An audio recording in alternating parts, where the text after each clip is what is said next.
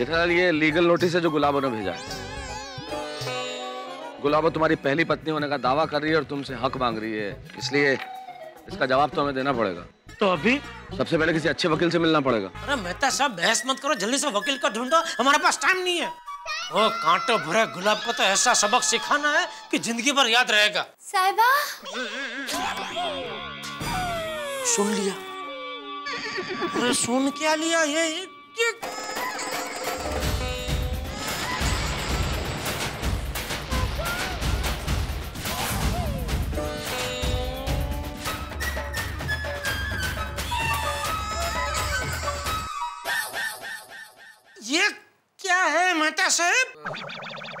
गुलाबो। वो मुझे भी दिख रहा है लेकिन ये यहाँ क्या कर रही है? मैं यहाँ स्नान करने आई थी। स्नान! स्नान! हाँ हाँ। ये यहाँ स्नान? कैसे मतलब?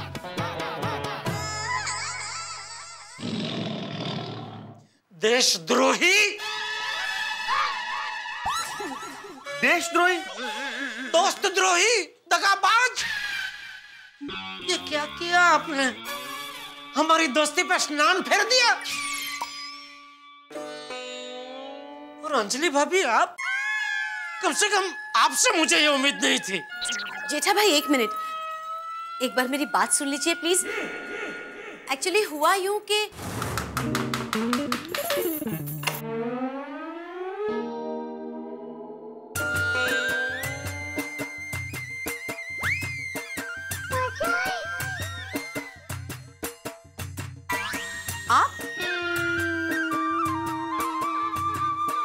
नमस्कार। जी। मेरी आप लोगों से एक विनती है। क्या? मैं स्नान करने के लिए आप लोगों का बाथरूम इस्तेमाल कर सकती हूँ?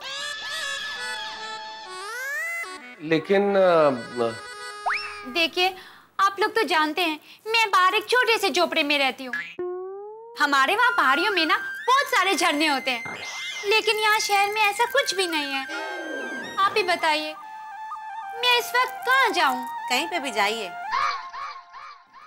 देखिए आप कहीं पे भी जाइए कुछ भी कीजिए। हम आपकी मदद नहीं कर सकते। जाइए। हाँ हाँ। ये भगवान ये कैसी दुनिया बनाई है तूने? एक नारी दूसरी नारी का दुख नहीं समझ सकती। मुझ बेचारे को इस वक्त कौन आसरा देगा? देखिए हमारा आपसे कोई लेना देना नहीं है। आप यहाँ से जाइए प्लीज़। देखिए भाभी मैं जानती हूँ कि आपका मेरे से कोई लेना देना नहीं है। लेकिन इंसानियत के साथ तो है ना? सच और झूठ का फैसला होने से पहले आप मुझे गलत कैसे मान सकती हैं हाँ?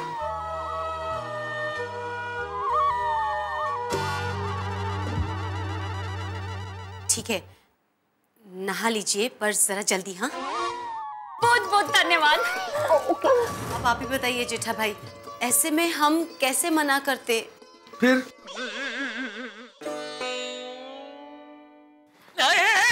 कर रही हो? तो आपके पैर छू रही थी।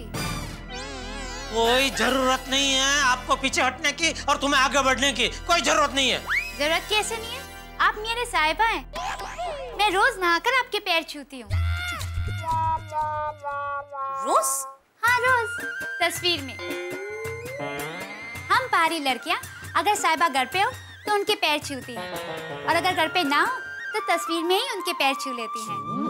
लेकिन रोज पैर छूती हैं। आप नहीं छूती? नहीं। नहीं? नहीं छूती हूँ मगर रोज नहीं। कब? कब? हर कब सब भूल जाते हैं। इनके जाने के बाद सब याद दिला देती हूँ हाँ? नहीं नहीं वैसे कभी कभी छूती है कभी कभी छूती है अंजलि पाँव। हाँ। शहर में भले ही आप लोगों को रीति रिवाज पुराने लगते हो लेकिन अगर दिल में सच्चा भाव हो ना तो आज भी इन रीति रिवाजों का उतना ही महत्व है। अच्छा अब मैं चलती हूँ। आप लोगों ने मुझे यहाँ स्नान करने दिया उसके लिए बहुत बहुत धन्यवाद। नमस्कार।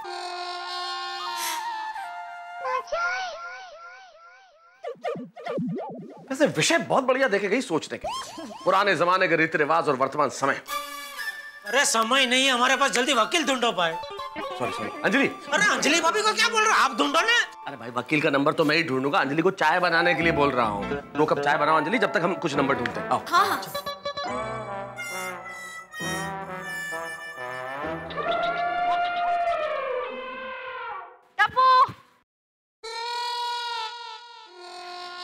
खाने की खुशबू कहाँ से आ रही है?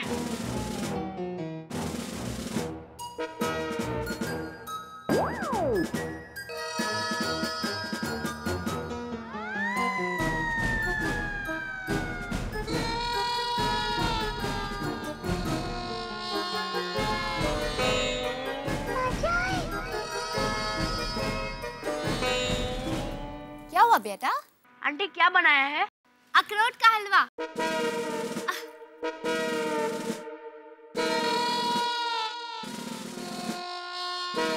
आंटी खुशबू तो बहुत अच्छी है। स्वाद भी बढ़िया है। खाओगे? हाँ आंटी मैं खाने का कभी अपमान नहीं करता। लो खाओ।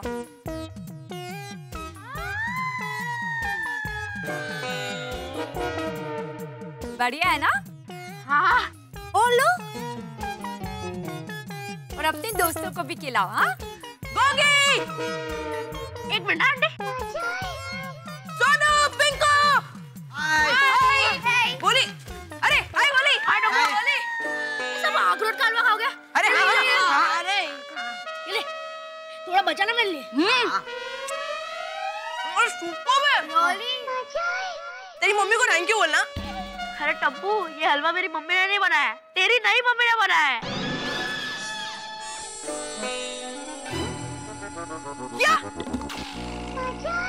क्या बोल रहा तू? हाँ टब्बू बेटा ये हलवा मैंने बनाया है। और खाओगे? नहीं। और आगे से टप्पू को कोई चीज़ मत देना। और खबरदार टप्पू से ना कभी कोई चीज़ नहीं तो। टप्पू बेटा बड़ों से ऐसे बात नहीं करते बेटा। दादाजी ने क्या कहा था? भूल गया? तू इस बारे में कुछ नहीं बोलेगा। Okay mummy. बोली तूने उनसे हलवा क्यों लिया? हाँ गोली। वो आंटी हमारी दुश्मन है। अरे पर हलवे से थोड़ी दुश्मनी है बोली तूने हलवा खाया ना? हाँ। तो अब कसम का कि तू टप्पू की इस मम्मी से कुछ भी नहीं लेगा। गोगी? मतलब इस आंटी से कुछ भी नहीं लेगा। हाँ। वरना तू टप्पू सेना से बाहर। सॉरी फ्रेंड्स खाना मेरे लिए सब कुछ है। पर उससे भी बढ़कर मेरी टप्पू सेना है। हम्म ये हुई ना बात। शाबाश गोली बेटा बस। थैंक यू अभी आप लोग इसको ही जाइए।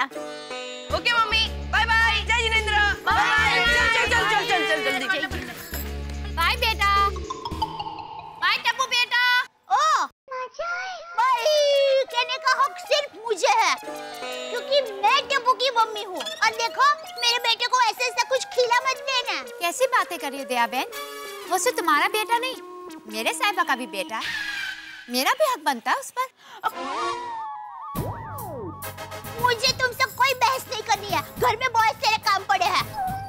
सौ बात की एक बात मेरे टप्पू को कभी कुछ मत देना समझे? ये कैसी दुनिया है तेरी? मेरा हक छीनने वाले आज मुझ पर हुक्म चला रहे हैं। कहाँ है तेरा इंसाफ? मुर्तजा हम जिस वकील के पास जा रहे वकील तो अच्छा है ना? भाई अच्छा है बुरा तो केस के बाद ही पता चलेगा। जीत गए तो अच्छा नहीं तो बुरा। टप्पू के पापा। साहिबा?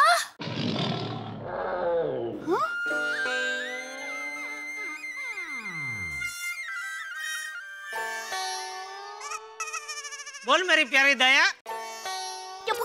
एक मिनट रुकिए मैं अभी आई।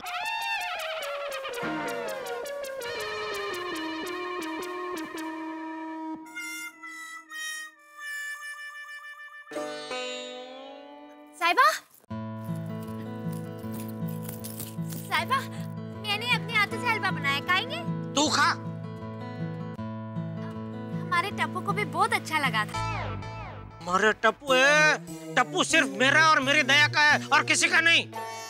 टप्पू के पापा। ये लीजिए टप्पू के पापा। दही शक्कर खाकर जाइए। हमारा काम फटाक से हो जाएगा। थैंक यू मेरी प्यारी दया। टप्पू के पापा मेरा एक और काम करेंगे। अरे एक क्या हज़ार काम बोल? तेरे सारे काम यूँ चुटकी बजाते पूरा कर दूँगा मेरी प्यारी दया। हज़ार नहीं सिर्फ़ एक ही काम करना है मेरे टप्पू के पापा। बोल बोल बेझिझक बोल। तो अब आप दुकान से आते वक्त मंदिर में एक सौ रूपए चढ़ा देंगे। हाँ ज़रूर चढ़ा दूँगा और बोल। नहीं नहीं बस थैंक यू साहिबा कृपा करके मेरा भी एक काम कर देंगे? मैंने तय किया था कि जब मुझे मेरे साहिबा मिल जाएँगे तो मैं मेरे साहिबा के हाथों किसी भूखे को खाना खिलवा दूँगी। आप रास्ते में जाते जाते किसी भूखे को खाना खिला देंगे? अरे कितनी बार बोलू मैं तेरा साहिबा नहीं हूँ। चले मेहता साहिबा। मेरा मतलब है मेहता साहब चलो। आप साहिबा के दोस्त हैं। आप समझाइए ना मैं अच्छे काम के लिए बोल रही हूँ। जेठालाल अरे बार बार इसकी क्या साइड ले रहे अब किसके फायर ब्रिगेड है? मेरे या इसके? चलो अभी। चलते हैं हम लोग जाते हैं। जय जिनेन्द्र। जय जिनेन्द्र। चलिए चलिए। साहिबा जल्दी आना। अरे आप आपका इधर अदब पढ़ के खड़े हो गए भाई। मुझे लगा तुम लोगों को कोई बातचीत करनी है। किसी को कोई बातचीत नहीं करनी है चलो। जेठालाल कहाँ जा रहे हो? पटलाल क्या कर रहे हो? कुछ अक्कल वक्कल है कि नहीं? क्यों? क्या हुआ? क्या क्या हुआ? कोई ऐसे बाहर जा रहा हो उसको पीछे से टोकते नहीं है? क्यों? अरे अब शगुन होता है उसका होने वाला काम बिगड़ जाता है। हाँ पोपट भाई साहिबा सही कह रहे हैं। फिर साहिबा ये वाह वाह वाह जेठालाल। मैं सच में आज तुमसे ईर्षा हो रही है। ईर्षा तुम्हारी दो दो शादियाँ हुई है ना? मेरी दो शादी नहीं हुई है। ना के एक शादी शूटिंग में हुई है लेकिन भाई हुई तो है ना। और यहाँ देखो एक शादी नहीं हो रही है। हाँ तो कर ले इसे शादी शिफ्ट हो जा झोपड़े में। देख वो भी बोल रही आता है क्या? आता चाहता करूँ टक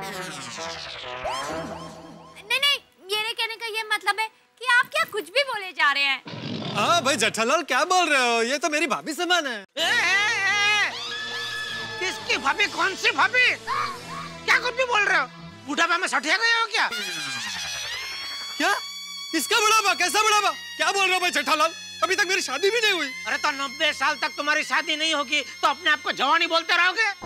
अरे भाई जेठालाल शुभ शुभ बोलो। अरे क्या शुभ शुभ बोलो? जेठालाल शांत हो जाओ ना अरे भाई। क्या शांत हो जाओ क्या बोल रहे भाभी भाभी लेकिन जेठालाल। जेठा जी क्या हुआ? बबीता जी क्या बताऊँ बबीता जी एक तरफ़ ये झूठी औरत मेरी नकली पत्नी बनकर मेरा सुखी संसार में आग लगा रही है और दूसरी तरफ़ ये पोपट लाल जैसा ना समझ लोग मुझे ताने मार रहे हैं। भाई जेठालाल मैं तुम्हें ताने नहीं मार रहा था मैं अपनी व्यथा सुना रहा था। अरे भाई मैं पहले ही अपनी व्यथा के बोझ तले दबा हुआ हूँ। उसमें बीच में तुम अपनी व्यथा कहाँ घुसेड़ रहे हो? जेठा जी डोंट वरी सब कुछ ठीक हो जाएगा। हम सब आपके साथ हैं। बबीता जी आपका सबका साथ है इसलिए तो मैं टिका हुआ हूँ। अब चले? हाँ चलो। ओके बबीता जी आ, वैसे जेठा जी आप जा कहाँ रहे? वकील से मिलने जा रहे हैं। ये क्या बात हुई जेठालाल? बे, मैंने पूछा तो अपशगुन होता है और बबीता जी ने पूछा तो बता दिया। बबीता जी लकी है मेरे लिए। बाहर जाते वक्त जब भी बबीता जी मुझे पूछते हैं तो मेरे नहीं होने वाले काम भी हो जाते हैं। और दूसरा क्या तुम में और बबीता जी में बहुत बड़ा फ़र्क है बहुत बड़ा। क्या? बबीता जी मुझे पूछते हैं। और तुम मुझे टोकते हो। Thank you Babita ji. मेरे लिए इतना लकी होने के लिए। जेठालाल भाई वकील से मिलकर ऑफ़िस भी जाना चलो भाई। हाँ okay Babita ji. Okay all the best ओ भाई तुम कहाँ आ रहे हो? बे, मैं अपने काम से बाहर नहीं जाऊँ। जाओ। चलो भाई कब तक खड़े रहेंगे भाई? चलो। क्या जेठालाल मैं बोल रहा हूँ लेट हो रहा है। रिक्शा रिक्शा मुझे टाइम पे कभी रिक्शा मिलती ही नहीं है। जेठालाल ये तुम्हारी नहीं सारे मुंबई की प्रॉब्लम है भाई। चलो आगे देखते हैं शायद को रिक्शा मिल जाए। आओ। ये तो अच्छा है दया समझदार पत्नी है और बापूजी को मुझ पे भरोसा है। वरना ऐसे में तो किसी का भी बसा बसाया संसार उजड़ जाए। तो है। साहब बहुत भूख लगी है। थोड़ा खाना खिला दो ना साहब। भगवान आपका भला करेगा साहब। दे दो ना। साहिबा मैंने तय किया था कि जब मुझे मेरे साहिबा मिल जाएँगे तो मैं मेरे साहिबा के हाथों किसी भूखे को खाना खिलवा दूँगा। आप रास्ते में जाते जाते किसी भूखे को खाना खिला देंगे? अरे कितनी बार बोलूँ मैं तेरा साहिबा नहीं हूँ। आप साहिबा के दोस्त हैं। आप समझाइए ना मैं अच्छे काम के लिए बोल रही हूँ। क्या हुआ जेठालाल? रुक क्यों गए? जेब में हाथ डाला है तो दे दो। जेब में हाथ डाला है तो दे ही दो ना। मैं नहीं दे सकता आप दे दो। दे देता। जेठालाल लेकिन एक छोटी सी प्रॉब्लम है। क्या प्रॉब्लम है? वो पाँच सौ का नोट है। हाथ चलेगा साहब। क्या चलेगा भाई? अरे दे दो ना भाई अभी। अच्छा कितने का नहीं? जिसका पैसा है उसका हाथ से ही लेने का।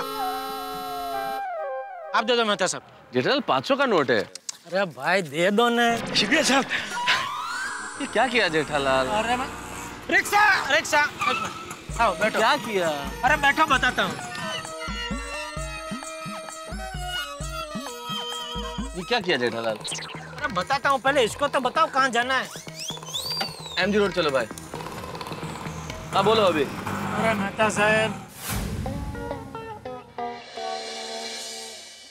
एक्सक्यूज मी मिस्टर दुबे आइए बैठिए।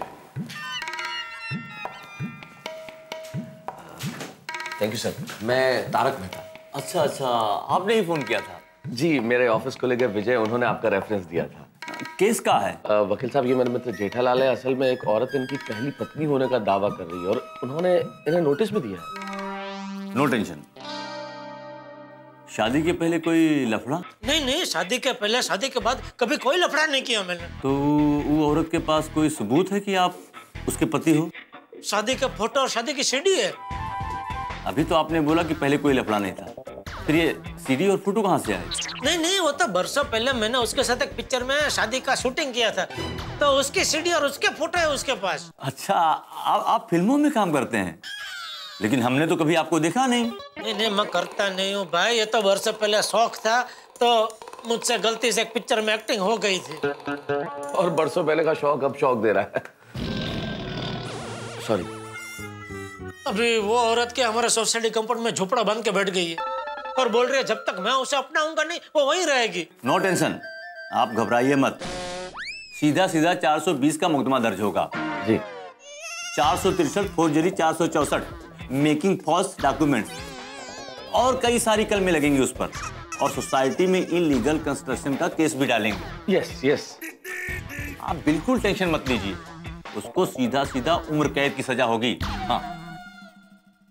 वो सजा तो वकील साहब जब मिलेगी तब मिलेगी। फ़िलहाल तो आप उससे मेरा पीछा छोड़ाइए प्लीज़ वैसे इस मामले में आपके परिवार वालों की क्या राय है? ऊपर वाले की कृपा से वो सब मेरे साथ है। वरना अब तक तो मैं सड़क पे आ गया होता। वैसे वकील साहब ये केस कितने दिनों तक चलेगा? कितने दिन? ऐसे कई केस हमने गिल्ली डंडे के गिल्ली की तरह उड़ा दिए हैं। पहली ही हियरिंग में केस उड़ा दूँगा। सीधा फैसला? हाँ। वाह। जेठालाल ज़्यादा खुश मत हो क्योंकि अगर हमारे वकील दलील पेश करेंगे तो उनकी वकील भी तो दलील पेश करेगी। अरे कोई भी वकील होने दो। मुझे कोई फ़र्क नहीं पड़ता। वैसे उनकी वकील है कौन? जी वो मैडम करके है। और वो साथ में महिला मंडल मोर्चे की कोई ज्योति भी है। ज्योति तलवार? हाँ। मैं केस नहीं ले सकता। अरे। अभी अभी तो आप कह रहे थे कि पहले हेरिंग में ये केस उड़ा दूँगा। हाँ। लेकिन आपने तभी नहीं बताया कि इस केस में ज्योति और ज्वाला शामिल है।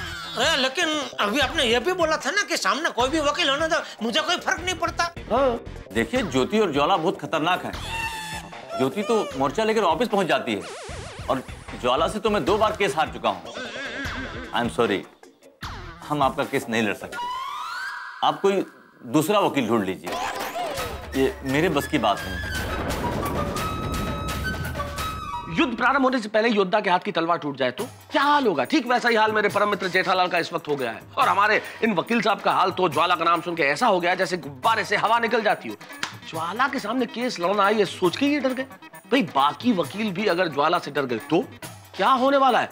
क्या जेठालाल का केस कोई वकील नहीं लड़ेगा? प्लीज़ प्लीज़ प्लीज़ अगर आपके निगाह में कोई स्ट्रॉन्ग वकील तो बताइए वरना।